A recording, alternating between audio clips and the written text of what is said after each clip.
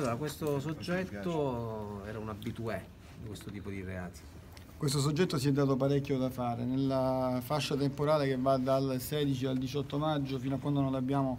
bloccato eh, ha commesso una rapina con delle modalità abbastanza cruente come potete aver visto dal filmato prodotto dalla polizia scientifica, una serie di furti eh, di, di, di scippi. Grazie alla diffusione delle prime immagini dell'impianto di videosorveglianza uno dei ragazzi delle volanti è riuscito a eh,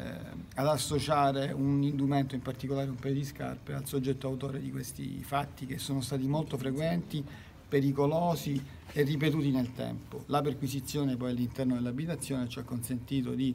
eh, individuare e trovare la refurtiva che avete visto sul, sul tavolo e siamo in attesa di capire eh, quali altri fatti ha commesso, atteso che ne abbiamo ricostruiti soltanto alcuni eh, numerosi per essere avvenuti in due giorni. Ecco. Naturalmente da qui parte anche un appello magari a tutte le persone che sono state rapinate, che sono state scippate. Parte l'appello nel senso che se qualcuno lo ha riconosciuto, lo riconosce grazie anche al vostro aiuto eh, come autore di qualche altro fatto, lo aspettiamo per, eh, per acquisire le, le dichiarazioni e, e, avere un quadro ancora più esaustivo di quello che comunque già, già abbiamo, perché la refurtiva è in numero cospicuo,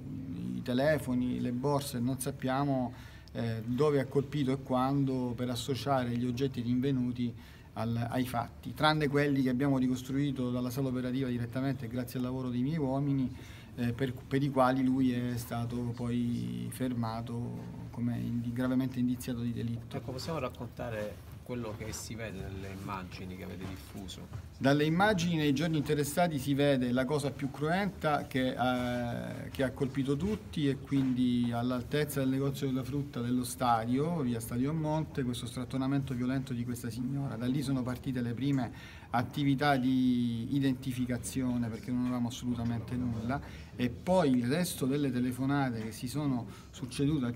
113 e la descrizione perché anche in questo caso la collaborazione dei cittadini è determinante ci ha consentito di arrivare alla, a una prima eh, individuazione diciamo dai fotogrammi delle immagini. Quando poi eh, esaminando le immagini c'è stata l'associazione delle scarpe al soggetto notato con le stesse scarpe sul ponte di San Pietro è stato immediatamente bloccato e a quel punto poi è partita l'attività di riscontro all'interno dell'abitazione con eh, le, gli indumenti che avete, che avete, notato con cui c'è stato un riscontro eh, con le immagini della scientifica. Ecco perché dicevo prima la vostra collega della ricostruzione delle vicende perché trovando il giubbotto verde che ha utilizzato quel giorno è stato poi eh, diciamo abbastanza agevole individuare qual è stato l'episodio di riferimento. Dove e con chi viveva? Viveva con una, viveva, ha trovato un appoggio momentaneo a casa di una ragazza della quale stiamo vagliando la posizione, approfittava lì per cambiarsi d'abito e lì sono state rinvenute poi queste, queste cose.